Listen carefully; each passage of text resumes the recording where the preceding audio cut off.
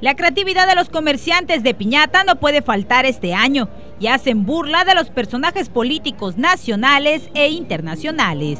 Para este año, para, para más bien para el 31, la de Donald Trump, la piden también para romper y la del presidente también para romper. Esas están como en 85, 80 pesos, las de, las de presidente o de Donald Trump.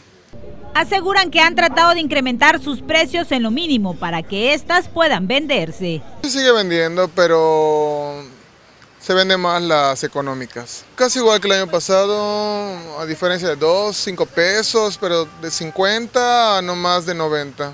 O las muy grandes, 190. Sin embargo, hay piñatas que a pesar de los años, la tradición las ha conservado entre el gusto de los clientes.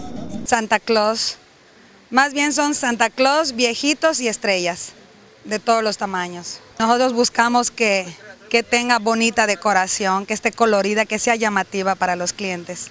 De estrella o de algún personaje, no cabe duda que las piñatas continúan siendo uno de los objetos preferidos de la gente, por lo que no pueden faltar en estas fiestas decembrinas.